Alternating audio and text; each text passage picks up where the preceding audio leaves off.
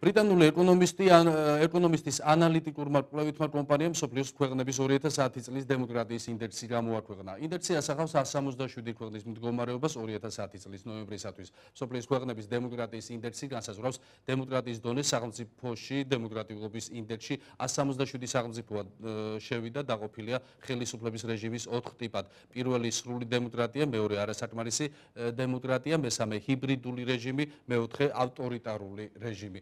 რეიტინგში საქართველოს 113 ადგილზეა მესამე საფეხურზე ჰიბრიდული რეჟიმის ქვეყნებში საქართველოს უსწრებენ ისეთი ქვეყნები როგორებიცაა მოზამბიკა, უგანდა, ლიბერია, ვენესუელა, რომლებიც ასევე ჰიბრიდული რეჟიმის ქვეყნებში მოხდნენ. რეიტინგში მსოფლიოს ყველაზე დემოკრატიულ ქვეყნებად დასახელებულია ნორვეგია.